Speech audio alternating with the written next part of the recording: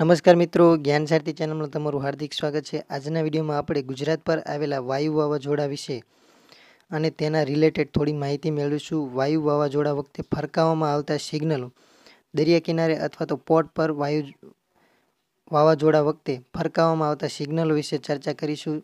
જ્યારે સિગ્નલ એક સૂચવવામાં આવે છે, ત્યારે સમુદ્ર પર ખૂબ ઓછા પ્રમાણમાં દબાણ વિસ્તાર બનેલો હોય છે અને સપાટીથી આશરે સાઠ કિમી સુધી પવન હોઈ શકે છે.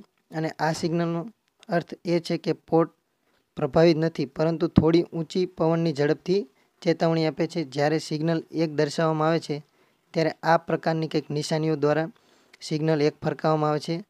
ત્યારબાદ સિગ્નલ બેમાં દરિયાકાંઠે આશરે સાઠથી નેવું કિમી સુધી સપાટી પર પવન સાથે ડિપ્રેશનનું નિર્માણ થાય છે અને આ સિગ્નલ પોર્ટને છોડીને જહાજો માટે ચેતવણી આપે છે.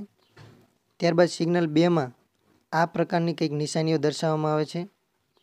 ત્યારબાદ સિગ્નલ ત્રણની વાત કરીએ તો સિગ્નલ ત્રણ એવું બતાવે છે કે ડિપ્રેશન રચાયું છે અને પોર્ટને અસર કરી શકે છે.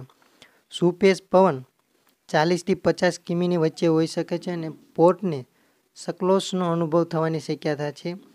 સિગ્નલ ત્રણ જ્યારે બતાવવામાં આવે છે ત્યારે આ પ્રકારની કંઈક નિશાનીઓ દર્શાવવામાં આવે છે. ત્યારબાદ સિગ્નલ ચાર.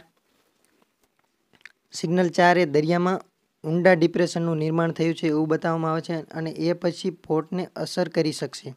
સપાટીની પવન લગભગ આશરે પચાસથી સાઠ કિમી હશે અને સિગ્નલ ચાર પોર્ટ પર સ્થિતિ જહાજોને સંભવિત જોખમ સૂચવે છે, જ્યારે સંકેત ત્રણ અને ચાર પોર્ટ પર ખરાબ હવામાનનું સૂચવે છે. જ્યારે સિગ્નલ ચાર દર્શાવવામાં આવે છે, ત્યારે કંઈક આવા પ્રકારની નિશાનીઓ સાથે સિગ્નલ ચાર ફરકાવવામાં આવે છે. ત્યારબાદ નેક્સ્ટ સિગ્નલ પાંચ વિશે વાત કરીએ, તો સિગ્નલ પાંચ. આ સિગ્નલનો અર્થ એ છે કે ઊંડા ડિપ્રેશનનું એક ચક્રવાત તોફાનમાં પરિવર્તિત થઈ ગયું છે અને તે દરિયા કિનારાના પાટિયાને તેના ડાબા તરફ પાર કરી શકે છે. સપાટીથી પવન લગભગ સાઠથી એંસી કિમીની શક્યતાએ આવી શકે છે. જ્યારે સિગ્નલ પાંચ દર્શાવવામાં આવે ત્યારે આ પ્રકારની કંઈક નિશાનીઓ બતાવવામાં આવશે. સિગ્નલ પાંચ એ ડેન્જર ડેન્જર સિગ્નલ તરીકે ઓળખાય છે. ત્યારબાદ સિગ્નલ છ. સિગ્નલ પાંચ જેવું જ છે, પરંતુ ચક્રવાત સંભવ જ છે. પોર્ટને તેની જમણી બાજુએ કિનારેને પાર કરી શકે તેવી સંભાવના સાથે સિગ્નલ છ દર્શાવવામાં આવે છે. જ્યારે સિગ્નલ છ દર્શાવવામાં આવે, ત્યારે આ પ્રકારે કંઈક નિશાનીઓ ફરકાવવામાં આવે છે અને તે ડેન્જર સિગ્નલ તરીકે ઓળખાય છે.